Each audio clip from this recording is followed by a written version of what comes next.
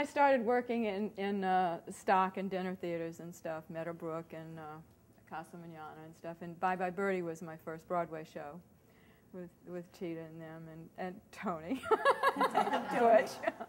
and uh, then I did uh, a few shows. And uh, um, I, I had an audition, another audition for Bob before Sweet Charity for an off Broadway show. It was for a part.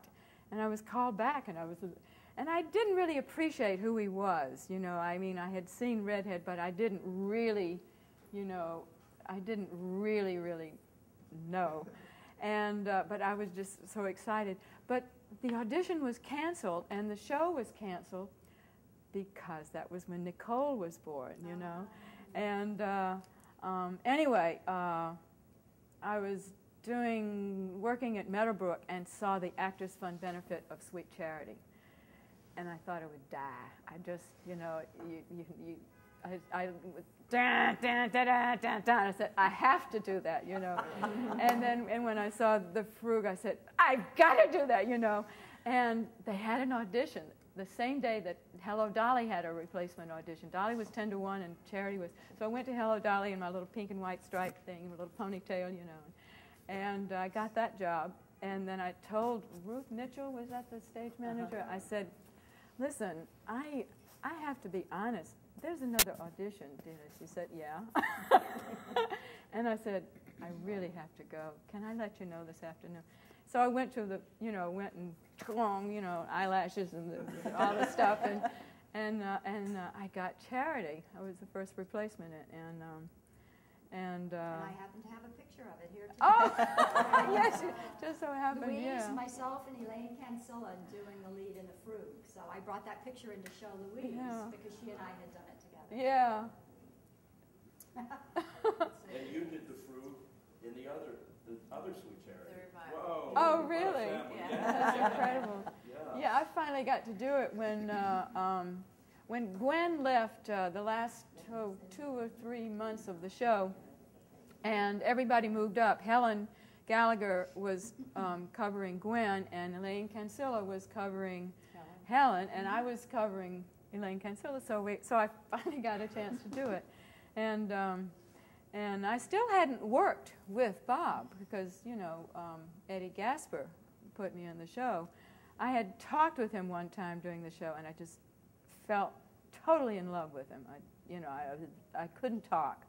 And he, he just kept asking questions, just like, you know, where'd you get started? At Mary Lou Sheffield, you know. I was for it.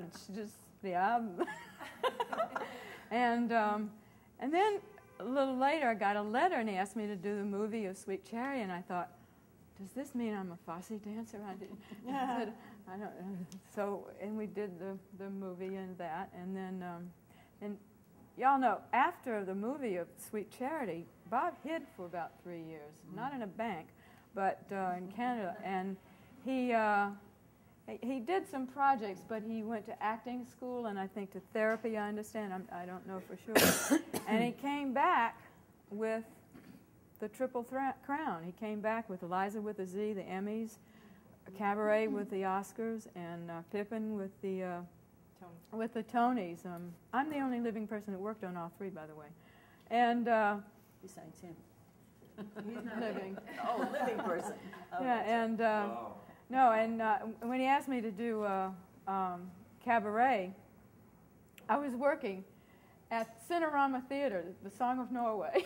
I, was an, I was an usherette. I was an usherette, and I was living at the uh, Riverside Plaza Hotel eating tuna out of a can, you know, it kept in the window. and uh, um, we did cabaret, and that uh, that was actually.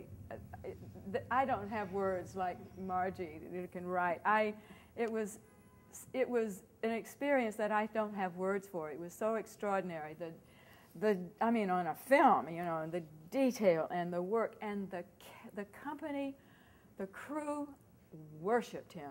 The extras, they could not believe because he treated people like human beings, you know. And um, uh, Kathryn Doby, and uh, she was going with the assistant director, and I was going with assistant sound man. And we used to go out and scout.